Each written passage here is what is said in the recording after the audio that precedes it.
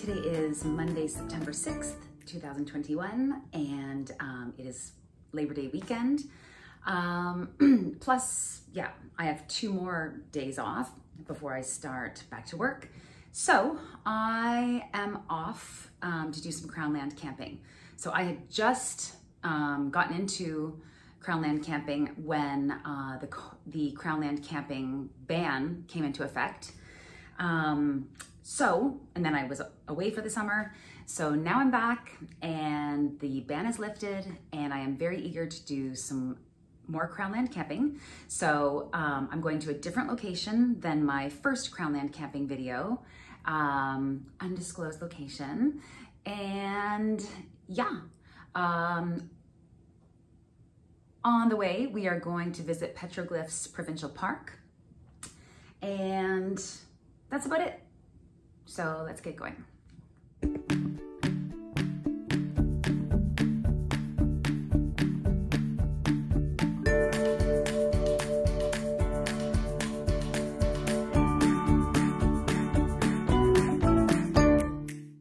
right, we are here at the Petroglyphs Provincial Park. It's 18 degrees, lots of people. I'm excited though to see these uh, petroglyphs, learn something. So I will not be able to share this experience with you guys, but I will tell you all about it. All right, so the petroglyphs were very interesting. Um, also, like, yeah, researchers or whatever in the 50s colored in the petroglyphs with black wax crayon to make them more visible. They did that to about 250 of the 1200 that are that are here. No, not that are here, in Ontario. Um, I'm gonna buy the book actually. But uh, anyway, so that was interesting. I'm gonna buy the book and learn more. Uh, there are two walking trails here, the Nanabush Trail, which is 5.5 kilometers, and the Marsh Trail, which is seven. Um, so the Marsh Trail, the seven kilometer one is marked by the blue blazes. That's what we're gonna do. And yeah. Well, I guess I just wanna say, you know how sometimes you get like, you learn something or you get a certain like phone call or message and it kind of just kind of changes your mood. I've had that experience today. So I apologize in advance if I'm not my normal like ditzy perky self. Anyway, a good walk will help. Let's do it.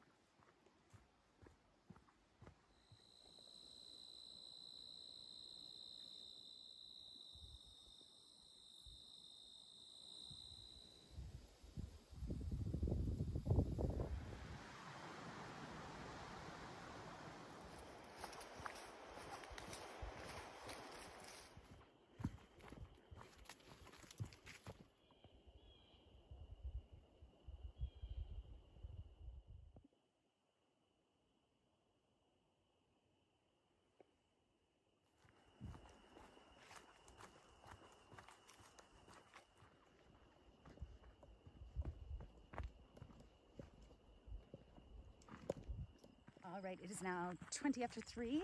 That was a nice seven kilometer walk in the provincial park. Um, now, let's go Crownland camping.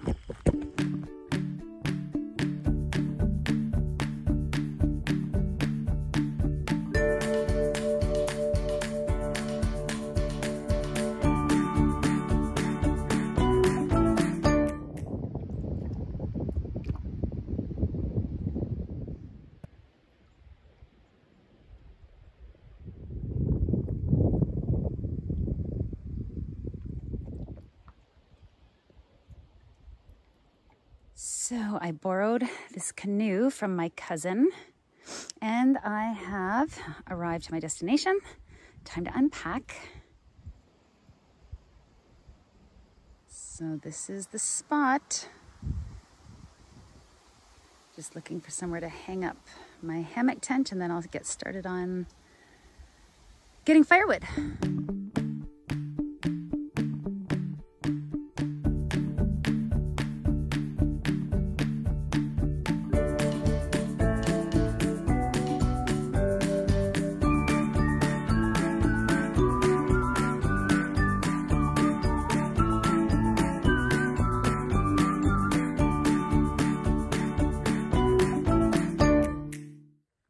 Considering that my cousin said that this place was packed um, over the long weekend, um, no garbage.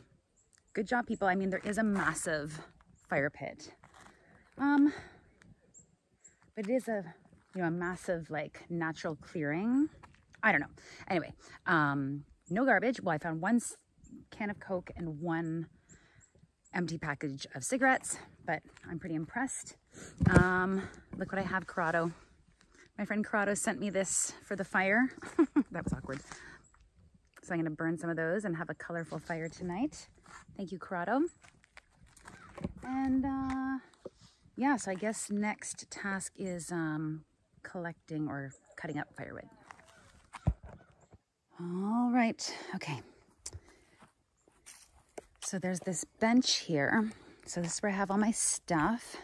I've got my day hiking backpack, a garbage bag, food, and then that's my empty inflatable kayak bag. Like that's what I keep my inflatable kayak in. Usually I inflate it and then fill it up with the stuff I need. So I didn't have to inflate a kayak this time. But that's all my stuff. Like that had my hammock, tent, my sleeping bag, my clothes, my chair, all that stuff. So it's pretty convenient that there's this um, bench here to put it on. What I should have done first is put up a protective tarp but I don't really know how to do that yet. I'm going to be taking a tarpology workshop with my appointed mentor, who I've never mentioned his name before. But uh, that's my appointed mentor is um, YouTuber Pine Martin. So I call him my appointed mentor because I asked him one question one day and he answered it, and then I came back with a million more, and he keeps answering them. So he's taught me a lot, and he's going to teach me how to uh, different configurations to hang up a tarp. Um, he's a great person to consult if you have any questions like regarding crown land or setting up tarp or fire making, anything, anything to do with camping. He's so knowledgeable. I'm so lucky that he affords me some of his time. Um, so I should have hung up a tarp here. I have a tarp here. So I bought one. It's not calling for rain. I'm going to risk it. Um, okay, so back to firewood.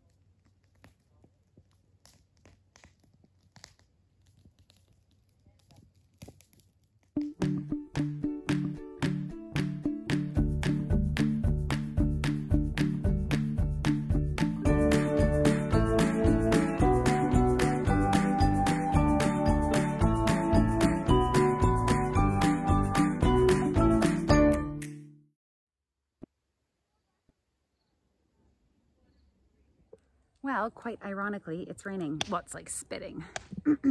so worst comes to worst, if it doesn't stop, because it's still not even showing in the forecast, I'll just throw the tarp over that, that bench. So not an issue. Oh my God, that was hard work. But yeah, I have like, I'm good for the night and the next night if I, if I do uh, stay two nights, which is a possibility. All right, I think it's time for Corrado's uh, gift. It says just toss these pouches into the fire and Corrado said I should use two or three. There we go.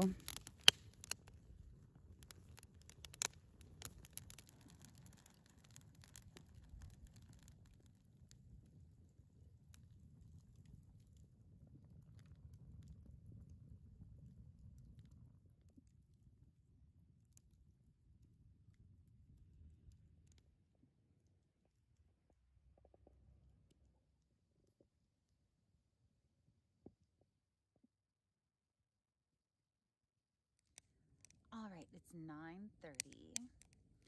Um, I can't show it with this phone, but the stars are out. They're amazing. Um, I'm having a fantastic time. And that's it.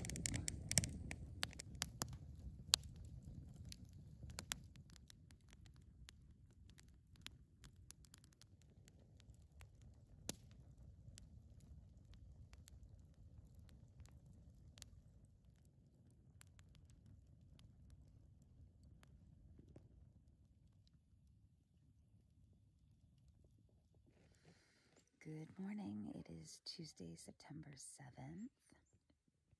It's 8 o'clock.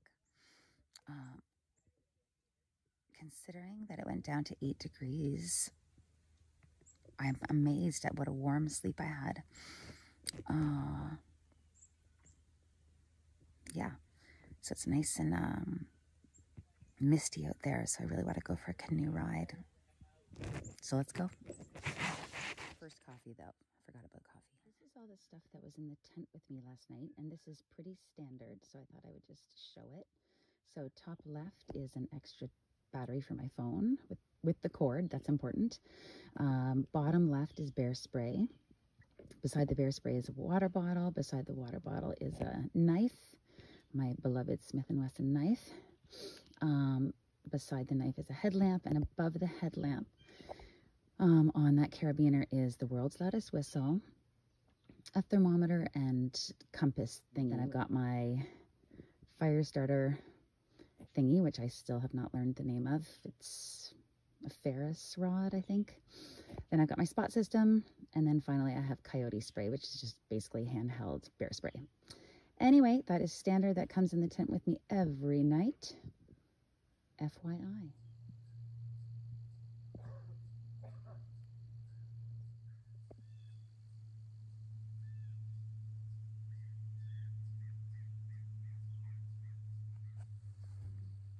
So as you can hear, well, I don't know if this this is picking it up, but I mean you can hear people talking and coughing. This is Crown land, but it is closely um, surrounded by private property. So, um, and this particular spot with the clearing and the fire ring um, is quite exposed. It's a, it's a, you know, it's not a massive island by any stretch, but it's a fairly big island. So what I'm going to do today is I'm going to walk through the island, which I've done before, and see if I can pick out a more um, secluded camp spot. Anyway, let's have coffee.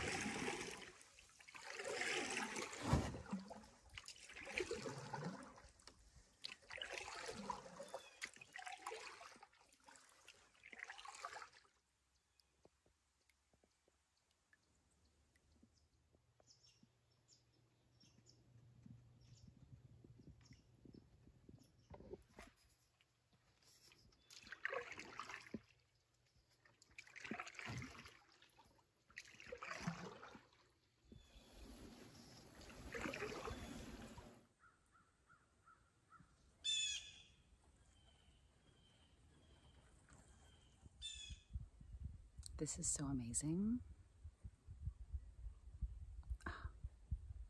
Now that I have a new car, oh yeah, by the way, I have a new car. the smart car died. It did get me home.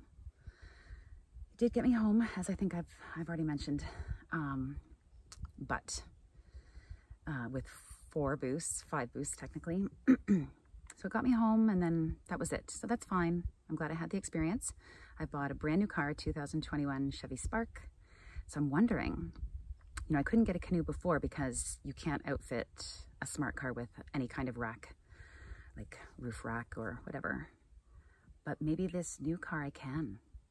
I love my inflatable kayak. It's just as wonderful an experience, but there's something about a canoe.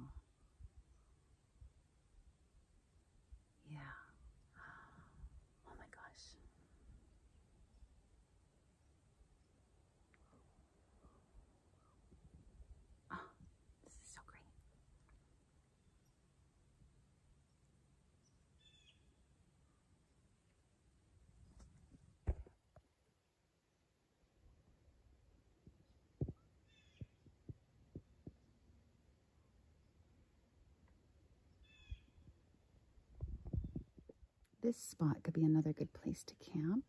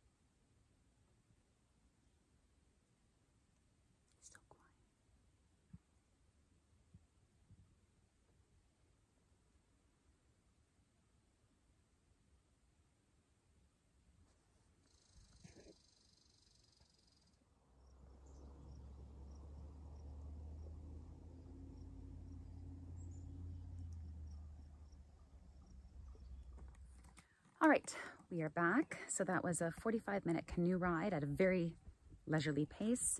And that was just around the perimeter of the island. So that gives you somewhat of an idea of how small or how the size of the island.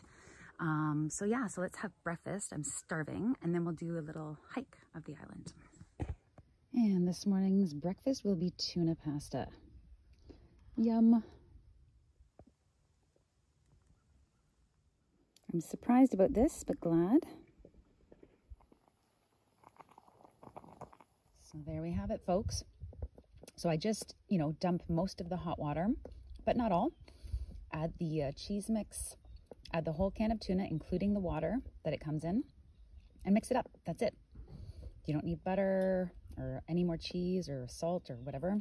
It's delicious. All right, it is 1040.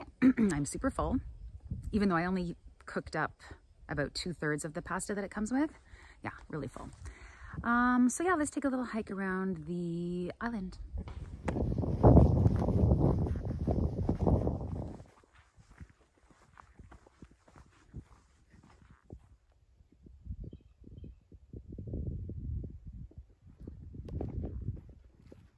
And look what I found, a toilet, even with the uh, toilet paper dispenser. And there's no bucket inside there. It just goes right into the ground. I don't know how that works. Does it keep sinking? I, I don't know how that works. Anywho, wish I'd known about that sooner.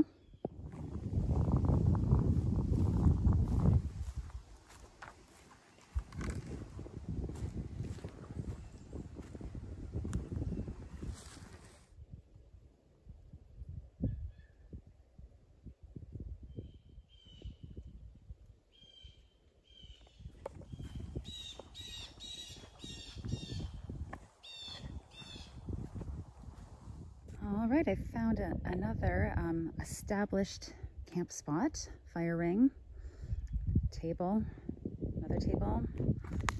Yeah, lots of trees for my hammock tent. I am definitely gonna try this, this site either tonight or next time.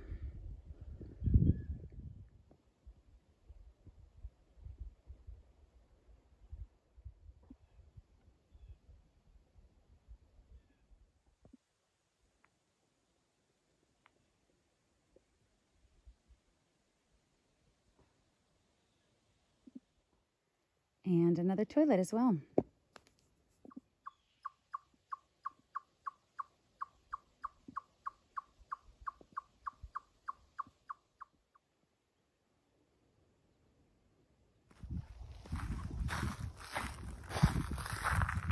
So there's the extent of my garbage collecting, which is good.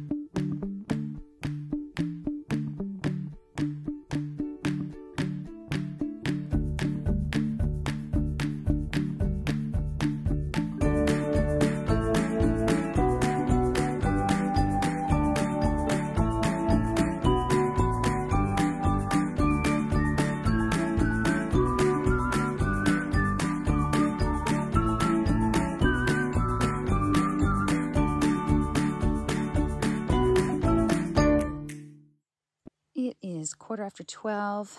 So I've done a 45 minute canoe ride, a an hour little hike around the island, which was only 1.74 kilometers. Like that was sort of zigzagging my way to the other end of the island and back. So I would say this island is 400 meters long by 100 meters wide.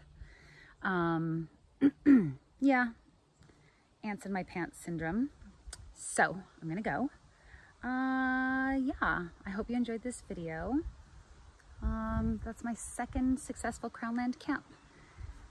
Yeah, I can't, uh, I love it. And even this, even this, like, you know, I said, I'm, I'm so close to like, um, property owners. It's still like, like way better than, um, a campground where they're like literally right next door. So yeah, this was amazing. And I have some more spots to still check out and camp on, so stay tuned for more Crownland camping. In the meantime, you know the spiel. Um, and yeah, sorry for my low energy. Anyway, um, thanks for watching. Please continue to watch, comment, like, and subscribe. Keep my retirement dream alive of doing adventures in nature full time when I retire in 12 years and seven months. Thanks. See you in the next video.